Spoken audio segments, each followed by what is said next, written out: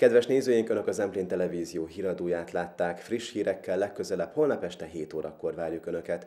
Hírműsorunk után pedig megtudhatják, milyen időjárásra számíthatunk a következő három napban térségünkben. További kellemes estét kívánok, maradjanak az Emplén Televízióval viszontlátásra.